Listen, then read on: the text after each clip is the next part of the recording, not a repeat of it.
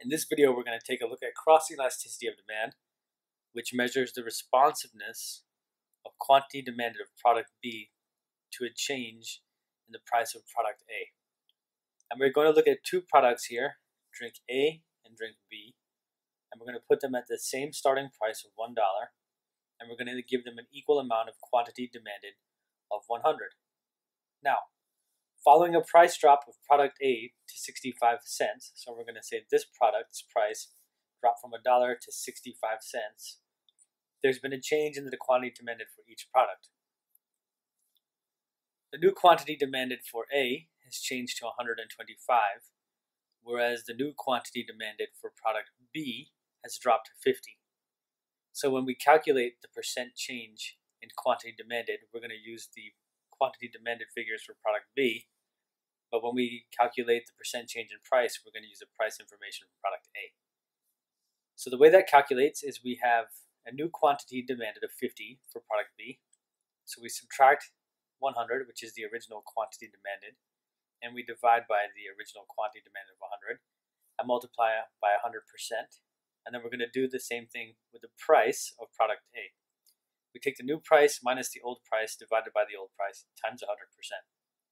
And that should give us minus 50% divided by minus 35%, which is equal to a positive 1.43. So the cross elasticity of demand is equal to positive 1.43, uh, which really means the following. First, we're going to take a look at the positive value, and what that tells us is that these two goods are substitutes. Then we take a look at the numerical value. It's greater than 1, which indicates that there's a strong relationship. So first we look at the sign, then we look at the size. The sign tells us here that there's substitutes. The size tells us here that there is a strong relationship. Now let's take a look at two goods that are related in a different way.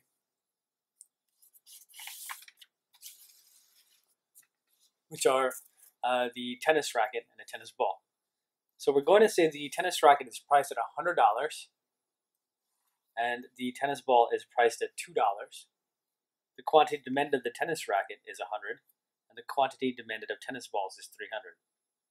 Following a price drop for tennis rackets to $90, the quantity demanded for each product changes. For rackets, it increases to 120, and for balls, it increases from 300 to 400. So when we calculate the cross elasticity of demand, what we want to do is to take a look at the percent change in quantity demanded for balls divided by the percent change in price for rackets. So we take the new value for quantity demanded for balls, which is 400. We subtract out the original, 300, and divide by it and multiply by 100%. Then we take a look at the price of rackets, and we take the new price of rackets, subtract the old, divide by the old, and multiply by 100%. Now, if we follow this through, it gets us a value of positive 33% divided by minus 10%. So the cross elasticity of demand is equal to minus 3.3. And what that means really, what that means to us is that it's a negative 3.3. The negative sign tells us that these two goods are complements, that they're used together or consumed together.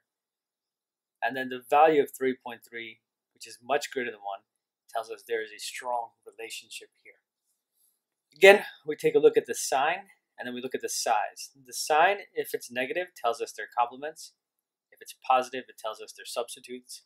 Then we take a look at the size of the number. If the bigger the number, the stronger the relationship. The smaller the number, the weaker the relationship.